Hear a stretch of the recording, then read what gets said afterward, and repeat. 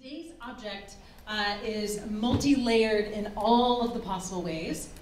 Um, and with that, my disclaimer for today is that I will be flipping back and forth in the PowerPoint, so it won't be a like slide one, slide two situation, because I want you to drive the conversation. So we may skip past something and we may go back to it, and just know that we'll get to all of it eventually. The order will just be determined by our fate together in this room.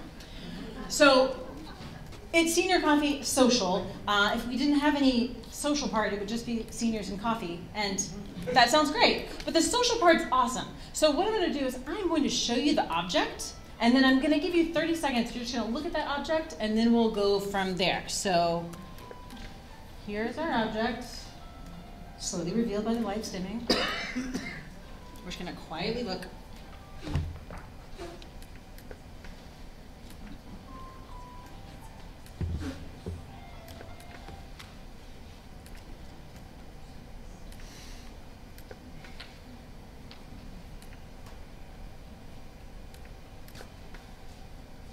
Got it? Great. Uh, what I would like you to do is one thing that you noticed, share it with someone sitting next to you. Just one thing that stood out that you saw in that work bar. Social.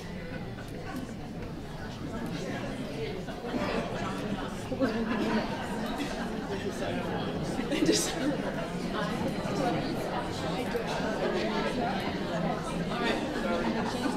okay. color. Yeah. it-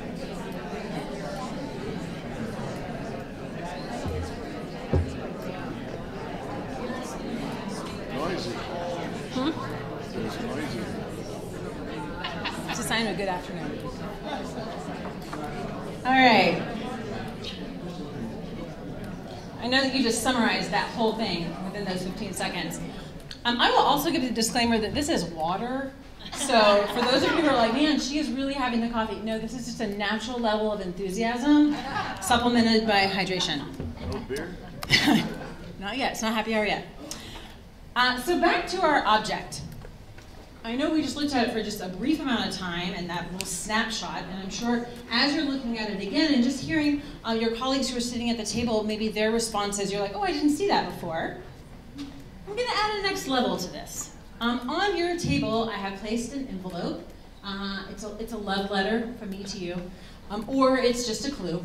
Um, so on it, what I want you to do is I want you to look at this work again, and if whoever opens the envelope, if you could just read that clue to the whole table, and then I want you to look at this work of art and see if you can figure out how does the clue tie in in any possible way to this work of art, and that's the part that's going to lead our conversation. So reveal said clue and see what you can see what you can figure out together as a team.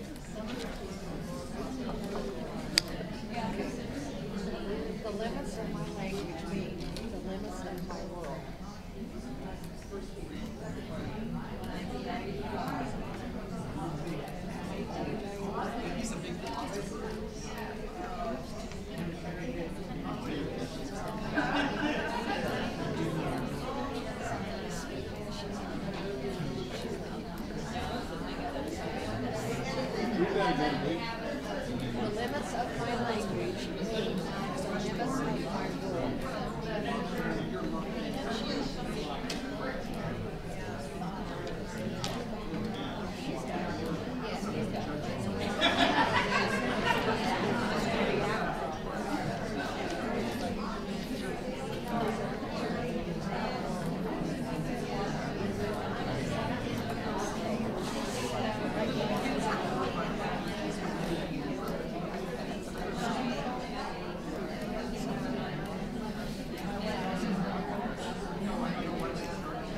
hearing lots of really good conversation as I'm walking around.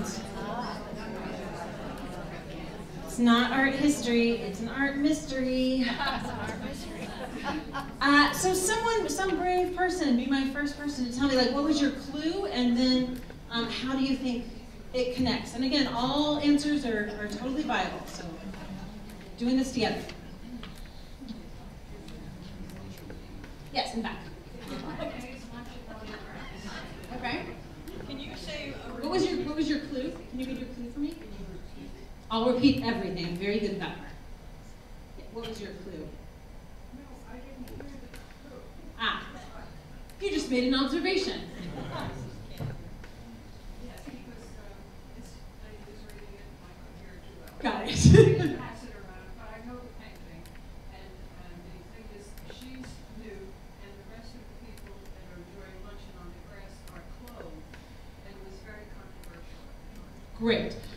So there, that table is picking up on the fact that in the background um, there is a well ren- renowned work of art that for some of you, when I show it to you, you'll be like, oh yeah.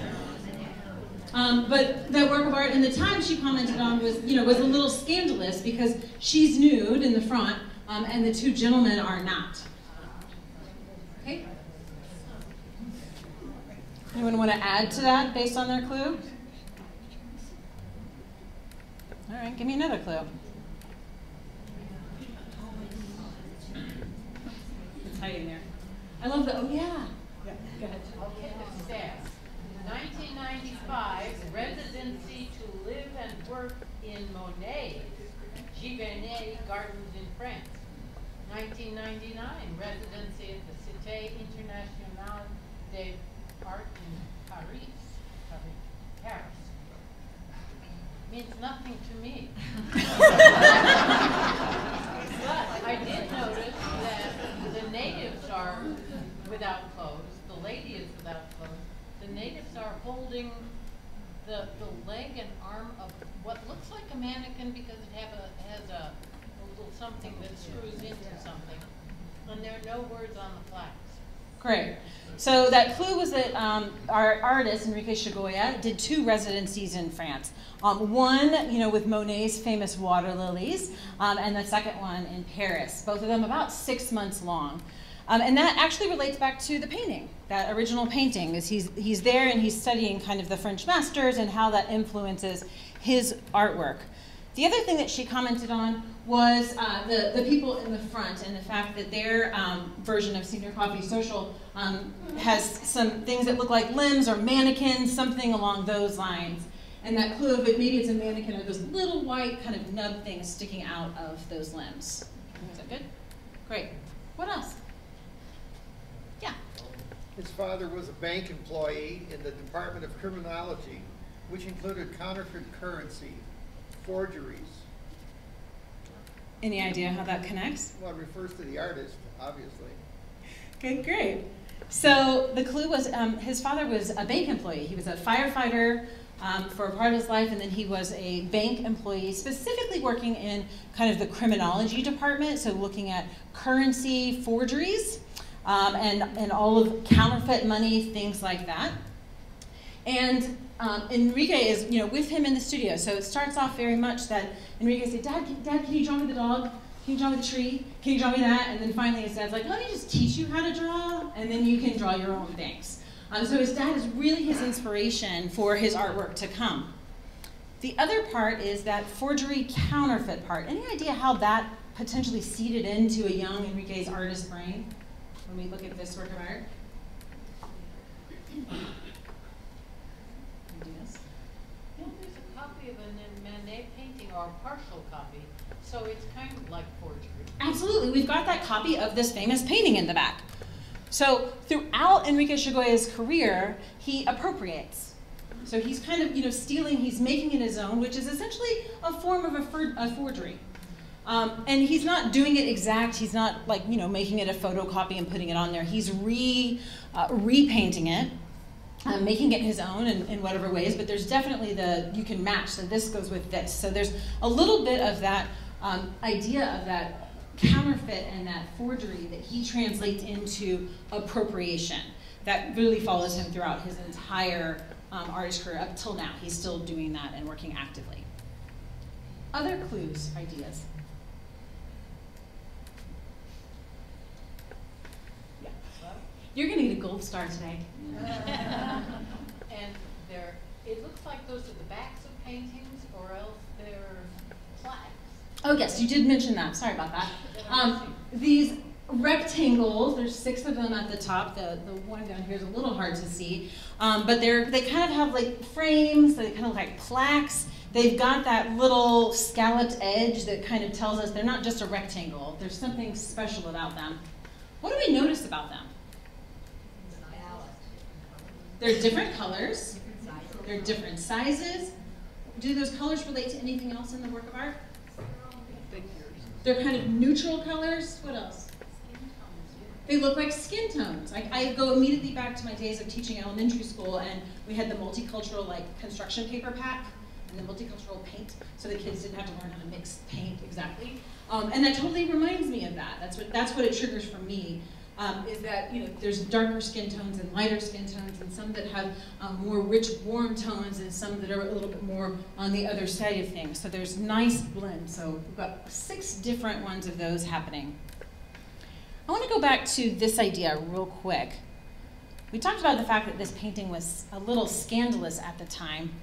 Um, if you'll notice here at the bottom, I, I, am not gonna, I respect the French too much to try to say anything in French, but translates um, to kind of that idea of an exhibition of rejects. Um, and that's not because them as people were rejects, it's because their art was rejected from the big salon. So 1863 uh, is where those big art salons are happening. Artists are submitting work for, con um, for consideration by a jury. The jury is deciding, yes, you're in. They're kind of making and breaking artists. This year, they basically turn away about like two thirds of the people because this is right at the beginning of, um, of Impressionism. And they're not, not everyone's quite on board with this idea yet. So all of the people who don't get accepted kind of have a, well, fine, we'll make our own exhibition. And this is one of the stars of that kind of exhibition of rejects. It's rejected originally because this is not what's happening in the rest of the art world at the time. During this time, they're still in that kind of um, really realistic, they're telling uh, myths and legends and storytelling through, like, um, or biblical things through their paintings. They're painted really realistically. And Edouard Manet is really he's kind of pushing the lines on that. He's got some heavier brush strokes, even the way her body has a bit of a heavier outline to it. So it's rejected, but it's also very exciting. um, and the people in it, both the, the, the, female model and the two gentlemen, are all people who are Parisian at the time. So they are people that they're like, oh, I know who you are. So it adds a level of scandal because not only is um, it's, it's a fine line between nude and naked, her clothes are kind of piled over here, so it's not quite that she's the model goddess birth of Venus sort of situation. Um, and the fact that they're clothed and just kind of hanging out. But it's it's big. It's people they know. She's scantily clad. The paint strokes are all over the place. Um, and so that is what triggers it. The other part that I think relates back to our work here goes back to those frames or plaques. I think of the, the salon at that time and how works of art were hung which is lots of works of art, you know, kind of floor to ceiling. And if you were really important, you were at eye level. And the farther away you got from eye level, kind of that was your status of, well, you're in the show, but we're going to put you like 12 feet up there. Um, and so there's something about the way those frames are that that's, that's how it figures for me. I didn't read anything um, that of Chagoya saying specifically what that is, but in relationship to that painting, I think there's some interesting crossover. What else are you noticing? Yeah. Yeah, I noticed the uh, indigenous like they were being pushed away from uh, the more, what we would have called civilized, apparently, Europeans. So I did see a very political statement in this. Great, we've got a little bit of political statement happening in the fact that our indigenous people are really pushed forward. They've got a lot of detail um, different than the back. And so potentially these kind of indigenous people are reading different compared to what we would, you know, the civilized um, French happening in the background. So, yeah, go ahead. So the legs and body parts are holding are white? Yes. So the two figures are holding, the body parts that they're holding are of a different skin tone. Um, and they're more in the white Caucasian kind of category of skin tone. So there's definitely something that picks up on there. Did anyone have the clue um, that he contributed to political cartoons? um, there, that, that, that factors in through his works of art. He likes to be able to say something. Um, it's not always overtly, here's the message, but let me drop these clues and give you a hint at kind of what I'm thinking and where this fits into my, my practice. In part of that appropriation and adding layers upon layers, um, I mean, Manet also appropriated So he was looking at these guys from even farther back. But in this particular painting, Chagoya is picking up on Theodore de Bry. And these are some um, engravings that he did. And Theodore um, is doing this series on basically he's he's kind of reaching out to explorers who have gone kind of to the New World, uh, the Americas, West Indies, East Indies, and those explorers are coming back, and then he's drawing what they tell him. So this in particular is a traveler coming back and telling him about being in Brazil and meeting the cannibals in Brazil. And so de Bry depicts them, not based on his own experience, he didn't travel anywhere like that. Um, it's just on a storytelling kind of method of telephone. And then Enrique Chagoya is picking that up and taking those same figures and using them in his painting. All the layers, all of them. Um, so you'll see, um, does this have a pointer? Let's find out. You know, there's kind of this like child on over, and same thing here. And that repeats in our original work of art. The style of the figures is really different on those two indigenous people than compared to our background people because he really is appropriating from those very different time periods of how artists are depicting the things. What else do you think he's trying to say with this? Oh, go ahead. He eating, are they eating the arms and legs, or are they playing them like an instrument? They're chowing down. They're They are, uh, yeah, they are, they are cannibals, um, and they are. It's a delicious afternoon snack high in protein. Um, so yes, and and in De, De Bry's words, you know, he he calls this series like the savages, um, because they're these native people. We don't we don't know anything about them, so clearly they must be savages. And picking up on something that potentially was part of their um, cultural practice to practice cannibalism, where if they defeated whoever's attacking them or whatever, that was part of the sacrifice to the gods, was you kind of you, you kind of ate you ate whoever you just beat. Um, so in this, that adds back to that layer of him on that commentary on the, the skin tone, that potentially there's a shift in narrative happening here. Yeah. I can't, I don't know if it's my eyes or it's not clear, but what's the yellow around her neck and behind? Yeah, so the yellow around her neck, um, from what I can see when we when we go to the gallery, because this one is definitely one of those works where I'm like, oh, it looks totally different. Um, is it's it's a basically like a cloth. Sometimes when I look at it, I kind of read I read snake a little bit, but it's not. Um, it's just how this fabric here at the bottom kind of curls around a little bit, but it is just kind of a yellow piece of fabric.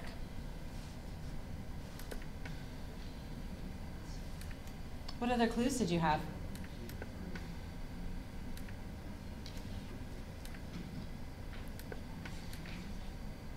Okay, this one is, some of his works draw upon the Mesoamerican Codex, an ancient manuscript text before form. Excellent. Did you figure out what that could? Now, Not yet. Okay, great. This is good. This is what I'm here for. Yeah, it's good. Um, the clue is that some of his works draw upon Mesoamerican, the, the Codex, um, an ancient manuscript tool that kind of read like a book. So you're, you're, it may ring as familiar. I will show you some of his renditions of it. This is a better example. Um, the Codex at the top. So it's a long, kind of uh, back and forth accordion book, and you can stretch it out, and it's very long. And then this is just one detail of one of those squares. Part of that goes back to his interest in his culture of Mexico. And if you think Aztecs, Mayans, those Mesoamerican, Mesoamerican people are making um, codices as a way of telling their story. Their origin story, the story of their gods, the story of their leaders, the story of their people. It's made on a material called amate, um, which is basically the bark of a like native wild fig kind of made into paper and then they coat it with a white lime juice and then they paint it on top of that. The reason why I included this in here is um, specifically because the same material, amate, appears in his painting. So we've got things like canvas and acrylic, but then we have this extra word in there where the general passerby would not probably stop and Google what amate is. Um, but, but yes, it's that, it's that reference to the Mesoamerican people that, of the land he came from. I should also say that this particular series that he did on the Tales of the Conquest Codex was 1992. Columbus sailed the ocean blue in 1792. Um, and so all of it is really based, is it 17 or 16? 14. I just, I really, time, I train traveled a little bit just there. Sorry about that. Um, but he's, he's kind of telling the story of these people um, being conquered and kind of what that meant, kind of colonialism, all of those sorts of things. And that carries through into the work that we're seeing now the, in, the residency that we mentioned in Paris and at, at Monet's place um, in the 1995 and 1999 is right before the work that we're looking at came, which is 2000. And at that point in time, he's lived in Mexico. He became a U.S. citizen, but he's he's there in France for you know six months and again six months, so long enough to really have some good thoughts on kind of what it means to be in Europe and be there. And part of that was he was thinking through the narrative of what, would happen if we switched histories? Instead of Europe kind of coming and conquering the Americas, what if the Americas had conquered Europe? Like, what would that look like? Would we have pyramids? I mean, we do kind of in the Louvre, but you know, I mean, would we have like architecturally, would things look different? Would our blend of how our people um, and the different skin tones and all of that, would that be different if we flipped that story? So there's so many layers. It's, it's so much, yes. Um, so if we look at this, a little bit of this is that flipped narrative. So this is coming right after that residency when he's thinking about we've got Paris, France happening in the background. We've got these other people in the foreground. And what would that have story look like differently? So that potentially is why they're chewing on white limbs as opposed to um, another indigenous tribe or something from Brazil or somewhere nearby. So he's kind of adding that little layer in. Um, did anyone who got inspired by Francisco Goya? Did you guys have any thoughts about that? Or were you just like, nope?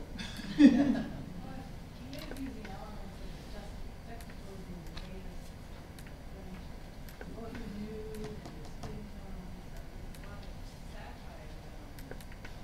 that satire Francisco Goya, um, during his time, is making these uh, engravings that are really about kind of poking a little bit at the church, but he does it in this like it's just satire kind of way, trying to sneak in some things. Yeah. He poked at the royal family too. Oh, he yeah, he did a lot of poking, royal family as well. So perhaps this is a poke at the white people that think they're superior. Yeah. But the woman, of course, is less because she's naked. Okay, so yeah, we've got we've got that, that layer of that, that nudity happening in the background. And it reads differently. The nude happening in Manet's painting versus the rendering of de Bry's, you know, engravings, they're two very different kinds of nude slash naked. Um, they, they read differently. Um, the front, even though it's, you know, probably very inaccurate, um, but it reads as, no, these are, this is people and this, it's more of a historical study as opposed to there's a bit more interpretation on who is, why is she nude in the Manet painting? What is, what is he trying to tell us? Was she a prostitute? Was she someone who was a little on the shady side? Like, we can lead, lead into that a little bit differently. His relationship with Goya um, starts pretty early in his artistic career, and he actually looks at Goya's engravings. That's where I pulled the 1700 from. That's where my brain did that. Sorry. Um, and he's looking at this and Goya's kind of description of, you know, this is, um, the sleep of reason produces monsters, and th those things, those symbols in the background are monsters. They're bats, they're owls, things like that. And then he's making it his own, and he's adding things. He's like, let me give you really scary bombs and you know stealth and all of those sorts of things. So he's taking Goya's idea and giving a contemporary context to it, and it goes back to that appropriation that he still continues to practice throughout his time. The other part I want to touch on that hasn't quite been mentioned yet is the title of our artwork. Oh, this is the other Goya that may be really familiar. Maybe more familiar. Um, this is one of those you can't unsee it, so I apologize in the afternoon. um, but there's something about it that rings with our painting that we're looking at today it goes back to the whole cannibalism part of things, um, but it's that dark and it's Saturn eating eating children and things like that. Um, so the title, An Object at the Limits of Language. Um, I included a quote on some of the cards that are out there um, that the limits of my language mean the limits of my world. Um, and that was said by um, a philosopher. And I haven't found an exact one for one, but it speaks fairly closely. No, we got the clue. Yeah. Yeah. So, what do we think of that title? An Right. object at the limits of language. I think it means that your language is definitely going to limit your world. The more language you have, or the language of the world, which is multiple languages, opens your world up as compared to an indigenous people who have a very limited language. Okay. So that would limit their world. So, the idea that language and being able to sp- speak multiple languages opens up your world. Um, you can see that in kind of, you, you can imagine in his experiences of, of Mexico, States, France, um, that he's kind of opening his world, but also the idea that potentially our, our native peoples here don't have another language, so their world is a little more limited. Very limited. Um, we can, go ahead.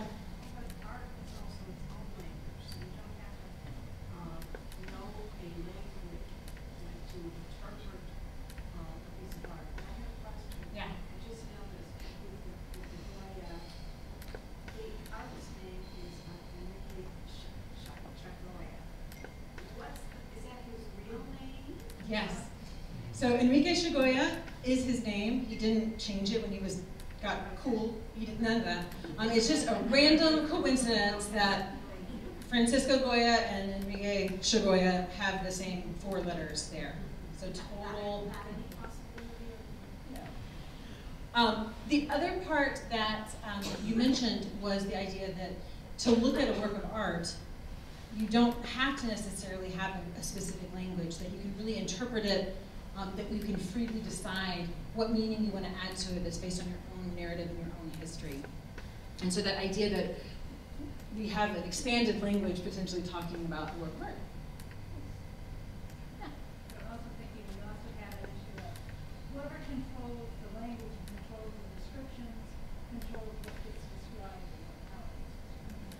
Whoever What can, do people think of that, if you think about it. whoever controls the language really controls kind of that larger narrative, how it connects with the rest of the world. In a lot of ways, history, right? That language is controlling history because that's what's written down and people are reading or researching it in the future. So if it's an object at the limits of language, it's kind of, I think it's playing on those multiple meanings that we could have, that we're limited in potentially how we're perceiving people who are not the same as us, that are different. We've got the layers of kind of the language of that was happening at this time period versus this time period versus a now time period, and how all of those layers have different languages of interpretation in them.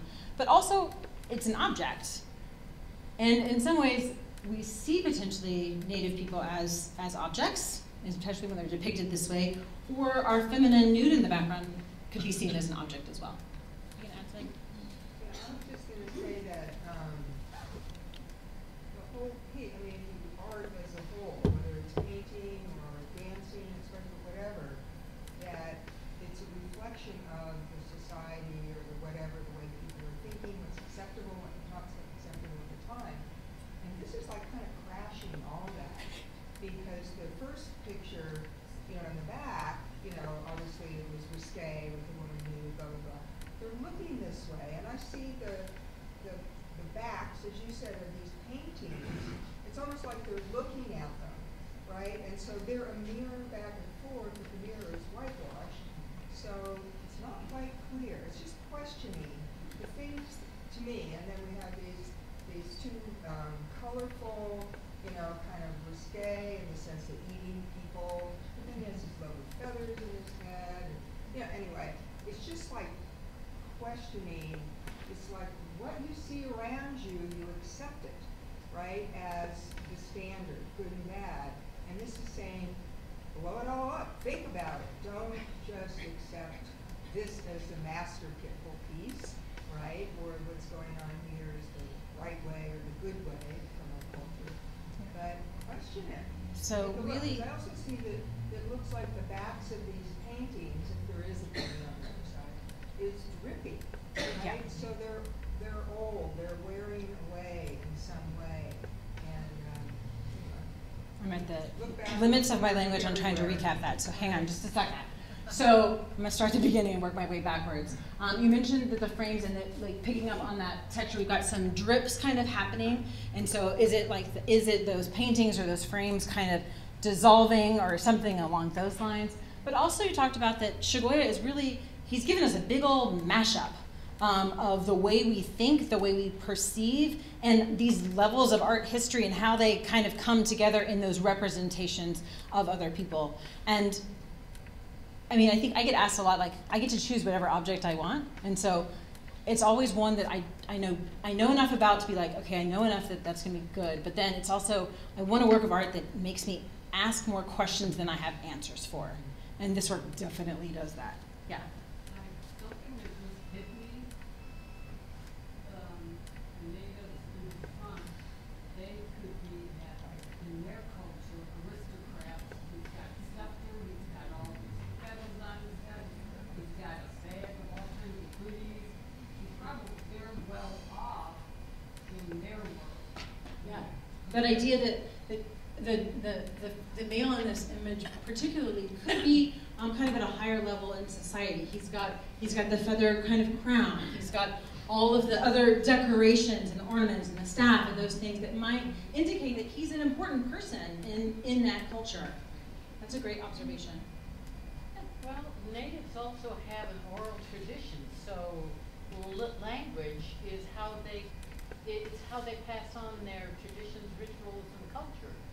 And at least, they are naked or nude, but they're at least straightforward, honest. Uh, they present themselves as, well, this is the way things are. So that idea that um, the Native peoples had, had, a, had an oral history, telling stories was how they said things, so they might relate back to that title of the limits of language. Um, but then also that you know they're nude and this is how they present themselves. Like that, it's not just a random day when they're like, let's have naked day. You know, once a year, let's be naked. It's not that. It's just that's how that's how they live. That is their culture, or at least how it's depicted by de Bry.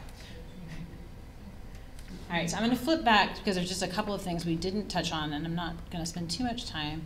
Um, but this is another um, thing that happened after his those residencies. Is it's that appropriation part, but it's mixed with his time being at Giverny and like the Monets. I love the top right image because it's a definite. He was obviously thinking about Phoenix Art Museum and our Monet, the flowering arches. Um, but you've got references to Picasso and Warhol, and like those things are happening in here. So his work continues to evolve. He continues to add layers. Um, I highly recommend that you go down the rabbit hole of doing a little bit of research on him. There's a lot of really great interviews where he talks even more about how the influences of his parents and where he grew up and what does it mean to move, study, you know, study political economics in Mexico and then move to the United States. You know, he doesn't say he immigrated, he says he was imported because he met a woman and she imported him. Um, but how that how that shifts, and you know, he tried to study some of that political economics in the Bay Area and wasn't finding the same level of conversation that he had had in Mexico. So there's there's just there's all all the layers. The word of the day is layers. Um, I again, this is our this is our artist Enrique, and I invite you to come check it out. It very much, I know that every single presenter every single month says it, that you've got to see it in person. Um, this one in particular, even this morning, I was like, oh it's, yeah, no, totally different. Um, I'll probably think that again when we go up there. It's on the third, third floor of the CAT's South Wing. Um, so right when you come out of where uh, the Kusama Fireflies room is, it's right over there. Um, there's also a second piece by Enrique Chagoya in the same gallery, so just kind of to the right if you're looking at it uh, that has a lot of the same um, processes in terms of another painting being layered behind, pulling appropriated images and those sorts of things. I did not dive down the wormhole on that one because my brain was too full. So I can't answer a lot of questions, but I can encourage a compare and contrast with your buddy. So with that, thank you very much. I'll hang out here and then I'll meet you in the galleries.